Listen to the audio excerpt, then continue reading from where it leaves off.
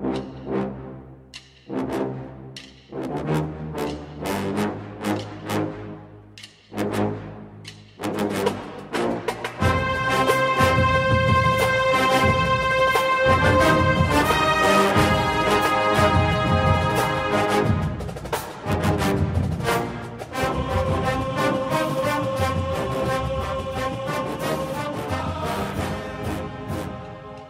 Good morning, Bucknutters. Welcome to the Bucknuts Morning Five here on Monday, January 23rd, 2017. I am Dave Biddle. Very happy to be joined by Steve Helwagen. Steve, it sounds like uh, Thayer Munford is going to join Ohio State's 2017 class eventually. He would be the 20th commitment if he does commit um, here in a short period of time, either today or tomorrow, whenever it might be. Uh, he's a four-star kid, Steve. He's you know ranked as the number 14 overall player in the state of Ohio, according to the 24/7 Sports Composite. Um, ranked as the number 279 overall player in the country, the number 30 offensive tackle in the country, kid out of Massillon. I mean, Steve, this is a kid, and I love Jim Tressel. This is a kid back in the Tressel regime. He would have had an offer like 18 months before signing day and would have committed. but so I'm, I'm glad to see this come to fruition. It's kind of late, but just uh, your thoughts on Thayer Munford likely being a Buckeye and what type of uh, player you think he can be. Yeah, I got to see Thayer Munford at the uh Friday Night Lights camp last year. I think he was down for a couple of the camps. And he was playing at Cincinnati LaSalle and then he moved up to Massillon uh basically to live with his high school coach, I believe Jason Hall is his name, who moved uh from LaSalle up to Massillon and it created a little bit of a problem. The OHSA, I think, accused them of recruiting, and he had to sit out some time or, or whatever the situation was. So uh, he was still practicing, though, which is good. And uh, it sounds like, from all indications, that uh, you know his academic situation was a little bit of a concern, but it looks like it's all systems go for that. And it sounds like Ohio State is ready here in the last week before signing day to see if they can add him to this class. And as we know, space is very tight for Ohio State. I mean, by my count, they're already three or four over the scholarship limit uh, based on guys we know who are leaving and those type things. So they may still need to clear out some space to be able to add some of these guys that they're uh, looking to uh, add here at the last minute. But uh, he would be a great addition, I think. He's got the size. Everybody knows that, and uh, I'm sure that uh, they have uh, done their due diligence uh, on him, regardless of whether he's played any football or, or whatever the situation has been. That uh, he's a guy that they think can help them in the Big Ten. Yeah, I'm excited about it. I like the, I like, you know, it seems like when Ohio State takes a quote unquote flyer on a player from Ohio late in the process, almost always it works out. I mean, guys like I think about even Malik Harrison hasn't proven it yet. He's the most recent example where everybody's just talking him up. He was a guy that last year very late commitment to the class, very late offer, and a lot of fans were like, "Who's this guy? What are they doing offering this guy?" And there's been many other examples over the years. So, um, you know, I, I I love this. I hope that uh, this this does happen for the Buckeyes. Um, let's move on to some Ohio State basketball. Um, Steve, you've covered many. Um, you know, uh, eventful um, games in your career, you know, many momentous occasions. Uh, you got to cover the first uh, win by Northwestern in Columbus in 40 years, and maybe I'm jumping the gun here, but I think this is a game you absolutely have to win if you're going to make the NCAA tournament. If you've already dug yourself a hole, um, and Ohio State wasn't able to do it, and you know maybe they can go on some crazy streak and get back in the NCAA tournament conversation, Steve. But uh, just a disappointing loss yesterday. Your thoughts? Yeah, because things had seemingly been going pretty well here the last couple games, even though they weren't uh, decisive, you know, defiant wins. I mean, they beat Michigan State by five at home. They beat uh, uh, Nebraska by one on a layup at the buzzer, basically at, at Nebraska, and they came home and here was Northwestern, who had won 12 of their last 14 games, going back to the non-conference, and was sitting there at four and two in the Big Ten and had had the week off after beating Iowa by 35 points last week at home. So uh, they were playing good ball. They came in, and um, you know it was kind of a back and forth game for the most part. Uh, one team would surge ahead, and the other one would reel them in, and back and forth it would go.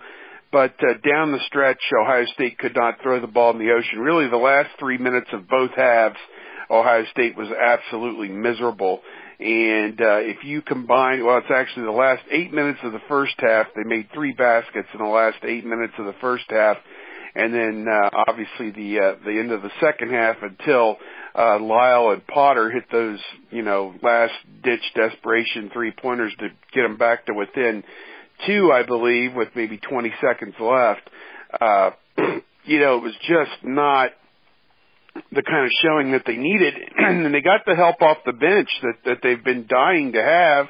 They had some guys come in off the bench and help out with uh, C.J. Jackson, seven points and six rebounds. Uh, Micah Potter, I think he had uh, seven or eight points as well. Uh, you know, they were getting the help that they need off the bench, but Marc Loving, once again, you know, after a couple of pretty good games and hitting that game winner at Nebraska, he just had nothing to give. Five points, five rebounds, uh, three turnovers. I mean, just just didn't get anything accomplished. Two of eight uh, from the field, and um, gave up a bad turnover for a layup with about three minutes to go late in the shot clock, and also missed a uh, free throw for the end one that would have cut the lead down to one with about 10 seconds to go. He missed the free throw. So you figure, uh, you get it down to one, you, you foul, you give up two points, you at least have a chance to shoot a three at the end to try and tie the game and force overtime. But, uh, you know, you hate to say it comes down to one thing, but uh, it was a lot of things with this game. And, and bigger picture, you know, as you talk about, I mean, the team's now 12 and 8, uh, 2 and six. Does that sound right? No, two and five in the Big Ten is what they are, I believe. And it's just not going their way. Next up is Minnesota, then at Iowa. They absolutely have to win these two games this week. Uh, Minnesota at home, team that beat them up in Minneapolis, and then uh, Iowa, a team that is really scuffling. Uh, although I guess you'd say Ohio State's really scuffling right now as well. But yeah, long and short of it, it's not good. And of course, uh, the game thread after the game filled with who are they going to get to replace that mod. I think public opinion's running about 90-10 against Matta right now. Uh, just not, not, uh, not what people figured it was going to be. This is basically the same team as last year and they're worse. And I don't think people understand why that's happened and uh, no development out of uh, you know most of these players. Loving is not any better or more consistent than he was as a freshman, and he's three years into this. So, yeah, a lot of questions and not many answers. I guess we'll have to see which way the wind is blowing with Gene Smith and uh, what uh, what he's really thinking. Because uh, unless they start reeling off some wins, this very very very well could be the last year for Thad Matta at Ohio State. Yeah, very rough day for Marc Loving. He was even worse than I'm accustomed to seeing him, and I'm, I'm used to him being, you know, a disappointing player. It's just a very rough day for him yesterday. Uh, not a rough day for Nate Ebner. he goes to the Super Bowl now for the second time in the last three years. Was a part of the Patriots Super Bowl championship team, Super Bowl 49.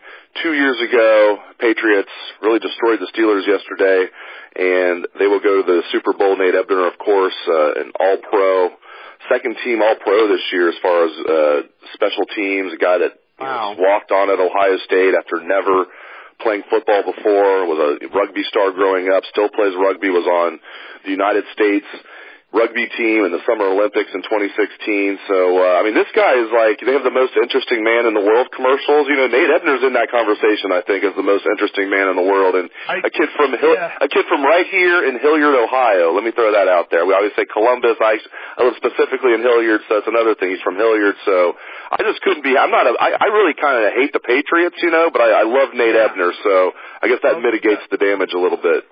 Dos Equis should spend some money on an advertising campaign with him because he runs down on punts and the punt returner falls down, you know, or something. you know, just just uh again, the Olympics and the Super Bowl in one calendar year, that is, you know, or in a 12 month period, that is uh that is pretty pretty amazing stuff and uh I'm sure he's going to have a lot of stories to tell when this is all over. And as you mentioned, he was in the Super Bowl two years ago with them, correct? So uh, Yes. will be another chance. And he's the only Buckeye, as I understand. Nobody on Atlanta. And uh, Steelers, obviously, uh, Ryan Shazier, his dream of getting to the Super Bowl was was uh, tamped out, and so for uh, Corey Linsley uh, with uh, Green Bay didn't make it. But uh, hopefully, we'll get a good game. These championship games on Sunday were terrible. Uh, I don't think. I mean, I was at the Ohio State basketball game. I don't know that I watched more than two series of that first game. It was a blowout, and then kind of turned back and forth on the second game because it was a blowout as well. So you know, hopefully we'll get a good game finally in the Super Bowl. And it looked like Matt Ryan, the Falcons are are, are going to put up a fight. So uh, hopefully that's what we'll get. I want to close the show talking about what kind of impact do you think Kevin Wilson can have? I think everybody, you know, just thinks he's going to come in and just wave his magic wand, and we're going to see just you know record-breaking offense. Um, and maybe we will. Maybe we will see a record-breaking offense. Tom Herman was able to come in and do that, and they they obviously have plenty of talent on this team. Um, what are reasonable ex- expectations right away in 2017 for Kevin Wilson and this offense? Uh, that they win them all, Dave. You know that that's the reasonable expectation. of course, Columbus every year. Well, yeah. Uh, in, in all seriousness, though, seriousness, seriousness, though, I think what you're going to see is a blend of what he did with Sam Bradford and uh, Jason White at, at uh, Oklahoma what he did with Nate Sudfeld and uh, Richard Munchie Lagow there at uh, Indianapolis or Indiana. And then uh, what Ohio State's been doing, which is the uh, the power game out of the spread formation. Uh, I think you kind of meld those three things together into something, and then you fit it to the personnel that you have. What does JT Barrett do effectively? You don't have an Ezekiel Elliott or a Carlos Hyde thumper like he did have at Indiana with uh, uh, Redding Devine or Devine Redding, and then uh, uh, Coleman, the guy who was really good a year or two ago.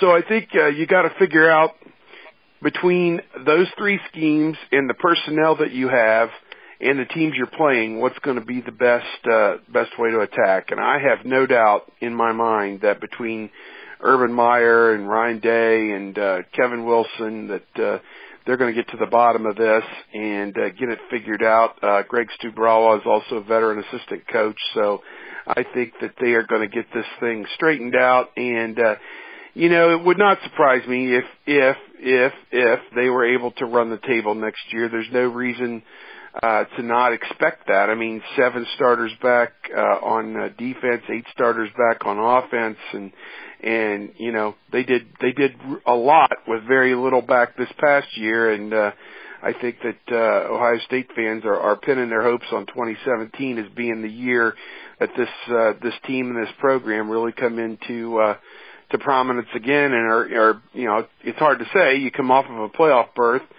uh, but you did get drummed out of the playoffs pretty pretty easily. So now it's uh, what can you do to take that next step and get back to the championship game? And fixing the offense is job one, I think, at this point.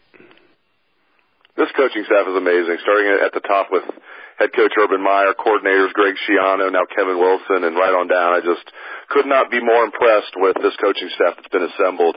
Uh, great stuff as always from Steve Helwagen. Thank you very much, Steve, and thanks to all the listeners out there for tuning into the show. I appreciate it. I hope you all have a great day. Let's hear some Buckeye swag, best damn band in the land.